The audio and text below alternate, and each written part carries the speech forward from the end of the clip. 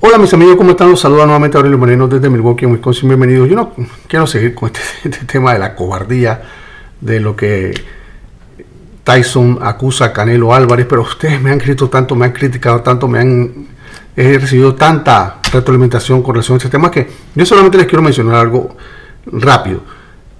Todos los boxeadores, si así, si así es el caso, si así es el caso, entonces todos los boxeadores son cobardes, todos.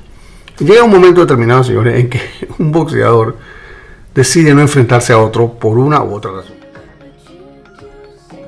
Ya sea por cobardía o por inteligencia. Yo lo mencionaba en mi video anterior. El boxeo es un negocio. El boxeo es un negocio y hay que tomar buenas decisiones. El mismo Canelo tomó una mala decisión hace un par de años cuando enfrentó a, a Bivol. Ustedes no pueden decir que Canelo es un cobarde cuando Canelo enfrentó tres veces a Triple G, que en ese momento era uno de los boxeadores más temidos que había. Tres veces, no una vez, tres. ¿Y ustedes qué dicen? Ah, que le robaron la pelea. Porque así es. Porque Canelo nunca, nunca, nunca gana. Si le gana a alguien es que le robaron, que le robaron la pelea al otro. Y si pierde, ah, que le dieron una paliza porque no estaba preparado, porque no sirve, porque lo expusieron. Canelo no tenía por qué ninguna razón, por ninguna razón, subir a 175 para pelear contra Bivol. Eso no es de cobardes. Esto fue una mala decisión. Ellos tomaron una mala decisión. El grupo de Canelo y Reynoso aprendieron esa lección. Supieron que, hey, nosotros no podemos pelear en 175, no podemos pelear con un más grande.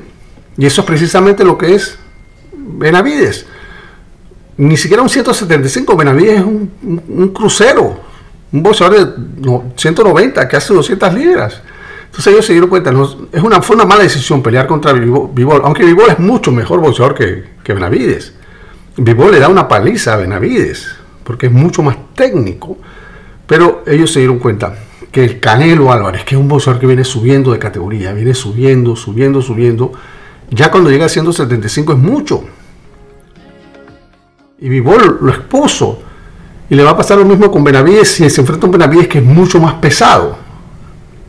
Entonces los boxeadores saben eso, los, que hay un límite. Hay un límite para enfrentar a cierto boxeador, por más bueno que tú seas. Por más bueno que un, que un boxeador sea, sabe que hay un límite cuando es cuestiones de peso. Si es, si nos dejamos llevar por la locura que dice Tyson, porque Tyson el que toma en serio lo que Tyson dice, y yo lo estoy diciendo ahora, primero tiene que ver de dónde viene la, historia. ¿Quién es Mike Tyson? Mike Tyson es un cobarde. Mike Tyson en su momento no quiso enfrentar a, o no pudo enfrentar a David Tua. Cada vez que enfrentó a un boxeador bueno perdió, perdió dos veces con Holyfield. Fue tan cobarde que no podía ganarle a Holyfield. Normalmente tuvo que morderle una oreja. Y eso aparte de los, de los, del tema de la fuera del, ring, ¿no? de los problemas que tiene él fuera del ring, los problemas legales, mucho más cobarde todavía. Yo le voy a mencionar un par de casos, un par de, casos, y ustedes me dicen si este boxeador es cobarde o no es cobarde. Un boxeador que ustedes defienden aquí muchísimo, muchísimo, pero muchísimo, lo defienden. Lo defienden de manera exagerada. A Gervonta Tank Davis. Gervonta Tank Davis nunca ha enfrentado a un rival realmente peligroso para él. Davis es bueno, claro que es bueno, pero él siempre ha subido al ring con ventajas, ventajas de peso o ventajas de, talento. Él nunca ha enfrentado. ¿Por qué, ¿Por qué ese Tank Davis es tan bueno? Porque nunca ha peleado con Haney, que supuestamente le, dio una paliza en un, en un sparring, por ahí está el video. Si le dio esa paliza en ese sparring, que ese, sparring fue hace un par de años atrás, no fue ahora, no fue reciente, fue hace un par de años atrás, se le dio esa paliza, ¿por qué nunca ha peleado con, con? ¿Por qué nunca han buscado una pelea con Haney? Porque sabe que va a perder. ¿Por qué nunca ha peleado con, con Lomachenko? Porque sabe que va a perder. ¿Por qué nunca ha tratado de pelear con Teófimo López? Porque sabe que va a perder. ¿Por qué nunca ha tratado de pelear con, con Stevenson? Porque sabe que va a perder. ¿Por qué si es tan macho, tan, tan, tan bravo? ¿Por qué no ha tratado de pelear con Subriel Matías? Porque sabe que va a perder.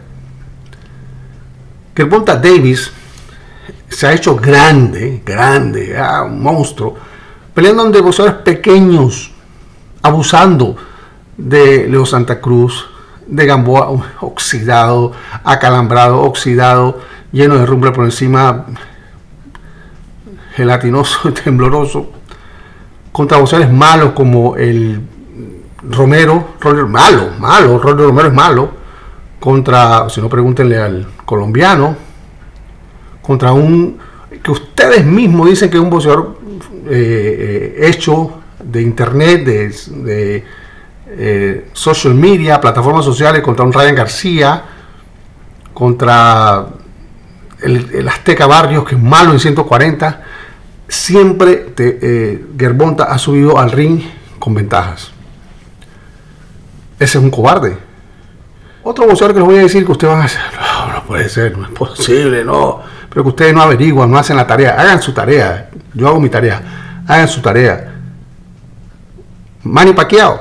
Ustedes dicen, oh, no puede ser que Manny Pacquiao sea un cobarde. No Manny Pacquiao en todas sus peleas importantes, en todas, siempre peleó un cashway. Siempre. Contra Coto, contra De La Hoya, contra Margarito, contra todas las peleas buenas, importantes de él, eran cashway. Eran pesos que no existían. 144 libras. Él hacía bajar a los boxeadores a 144 libras. Esos, pesos no existen.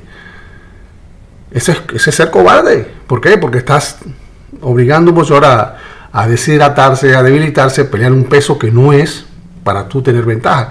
Eso para mí es un acto de cobardía. Otro boxeador que usted aquí que defienden, pero increíblemente, exageradamente, eh, Crawford. Bob Crawford, ¿por qué Bob Crawford nunca ha querido pelear contra Bud Hennings? ¿Por qué nunca quiso pelear contra Virgil Ortiz? ¿Por qué? ¿Por qué tanto tiempo que ha sido campeón haciendo 147 libras? ¿Por qué nunca peleó con uno de estos dos? Bobarde, tenía miedo. Y ni siquiera hablar ahora del, del otro Charlo, del Germel, que ahora recientemente le quitaron el título de la AMB.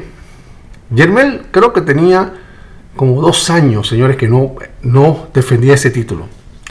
Cobarde. Se lo quitaron. Ahora es campeón en receso. Lo llaman campeón en receso. No tiene ningún título. Porque se supone, se supone que él iba a pelear contra, contra Siu, contra Team Siu, ¿verdad?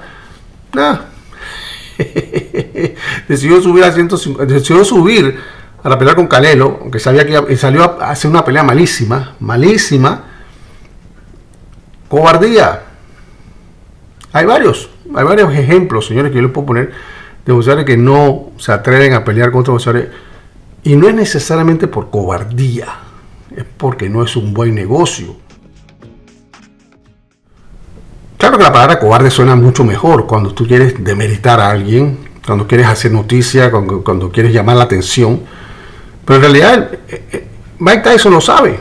Mike Tyson sabe que no era un buen negocio para él en ese momento enfrentar a David Túa, porque él sabía que enfrentando a todos los muertos que él enfrentó antes, Framboso, eh, eh, a, Golota, a, todos esos muertos, al Zavarese, a todos los muertos que él enfrentó antes de enfrentar a, a Lelo Cruz, le iba a ganar dinero, él iba, iba a superar esos obstáculos que no eran ni siquiera obstáculos para pelear contra Lenos Luis. No podía arriesgarse ante Tua. Y no era necesariamente que fuera cobarde, era que no era un buen negocio. No era un buen negocio. Hay boxeadores que, que por eso, por el asunto, oh, yo, yo quiero demostrar mi, mi hombría. Yo les he puesto este ejemplo miles de veces, pero se los voy a recordar. Lo voy a recordar. Ok. Hace muchísimos años atrás. Fue allá como los principio de los 70. Dos boxeadores mexicanos extraordinarios, peso gallos, dos monstruos. Carlos Zárate, el, el Cañas, el Cañas Zárate, contra Zamora. Estos dos boxeadores mexicanos, invictos ambos, dos noqueadores de oficio, dos gigantes en ese momento, dos leyendas de boxeo, dos leyendas, dos monstruos. Querían ser los más machos, pues entonces van a hacer una pelea innecesaria porque ellos no tenían por qué pelear. Creo que fueron 10 asaltos solamente esa pelea. Yo hice un video sobre esa pelea, mírenlo aquí al final. Completa la historia de Carlos Zárate y Alfonso Zamora de esa pelea. Noquearon al pobre Zamora en cuatro asaltos. nunca sirvió para nunca sirvió para más nada. por portada de macho. Mal negocio, mal negocio, señores. Y pasa mucho cuando un boxeador se equivoca y creen que, oh, mira esto, vamos a pelear contra este. Y, lo que hacen es que le dan una paliza y ya no sirven para más nada. Es un mal negocio, no es cobardía. El Canelo en este momento no tiene necesidad de demostrar absolutamente nada y ante Benavides es un mal negocio cuando él sabe que puede ganar la misma cantidad de dinero o mucho más enfrentándose a Munguía, enfrentándose a Berlanga, enfrentándose a un Charlo, enfrentándose a un Crawford y no tiene y no se expone tanto. Particularmente ante un Benavides que ya está en 175, ya subió, porque su próxima pelea va a ser en 175. Hace rato ya está en 175 peleando, porque cuando sube al ring, él sube 190 quizás. Así que no, por favor. Esto de cobardes, piénsenlo bien cuando ustedes creen, le creen al drogadicto, al cobarde, al mochador de orejas Mike Tyson, al violador Mike Tyson. Aurelio Moreno, gracias.